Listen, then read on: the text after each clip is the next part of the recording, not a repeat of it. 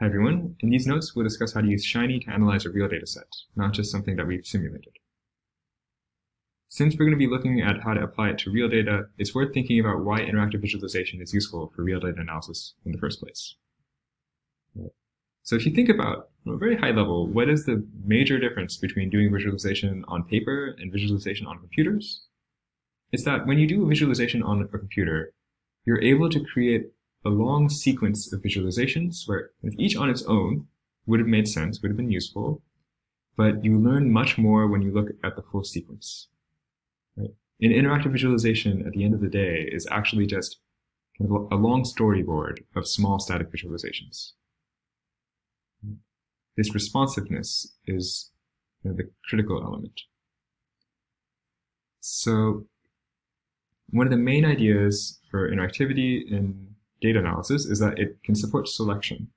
It can support selection either for rows, so you might want to zoom in and focus on certain observations, or on columns. Right? So maybe you are interested in a, one set of columns at first, but then you change your mind and want to analyze another set of columns. Interactivity can allow you to do both. It can take something that's very complex in both rows and columns and allow you to filter down to something that's a little bit more manageable. So let's look at the application before looking at the code, let's just see what, it, what it's going to do. It's a data set of IMDb and Rotten Tomatoes ratings. So all that this is doing is I can search for different kind of genres and I can see what their ratings are.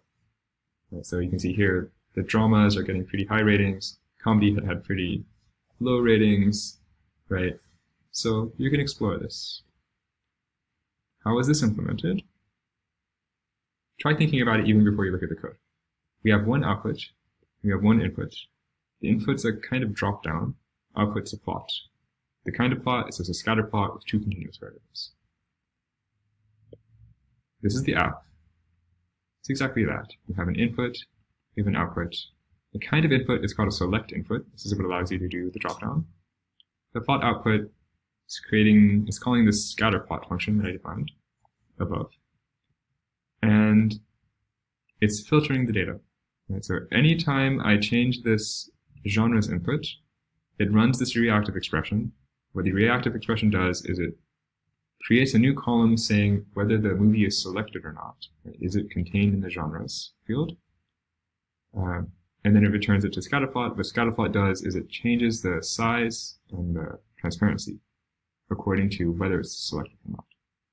This idea of changing the encoding depending on what the user has input. This is called conditional input. Okay. So that's one input, one output. What if you want to do something a little bit more complicated? In this example, okay, you can now filter the year, you can continue to filter genre, and you can also filter by rating. so let's look at the older dramas and you can look at more recent ones too. Okay, so how is this done? Same kind of idea. I've thrown in a few other inputs. So now I have a select input like before, but then I also have these check uh, checkbox and slider inputs. But then all that's doing is just once I have those new inputs, I can just change my reactive expression to filter to that new subset. Okay. So one final version, let's say we want to have, we want to allow people to see what the name of the movie is. Okay, this is actually not going to be done with ordinary ggplot anymore.